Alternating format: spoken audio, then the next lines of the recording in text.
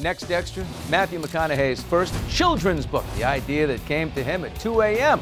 Next extra. Tonight at 12 a.m. on WBNX.